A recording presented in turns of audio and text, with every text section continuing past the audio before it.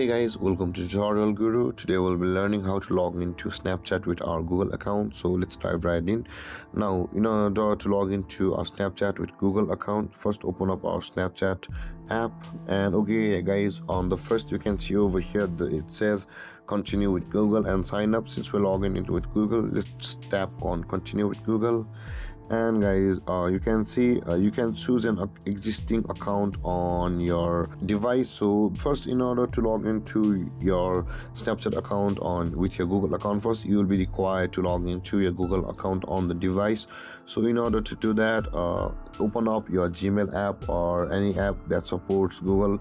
Maybe it can be youtube or gmail. And after logging into your gmail account on that email. You can see guys i have already logged into my gmail account over here on that email which i'm going to log into on the snapchat. So guys with that being said guys you can see so i've already logged in. So that that's why the google account has popped out on the snapchat. With that being figured out tap on continue with google.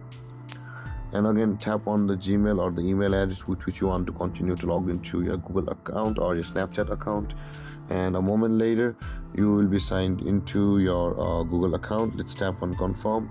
And you can see guys uh, we are successfully logged into our snapchat account with our google account. And if you have any confusions or questions regarding the topic feel free to comment in the comment section below. And don't forget to like subscribe and hit that bell icon for more videos. Thank you for watching guys. Peace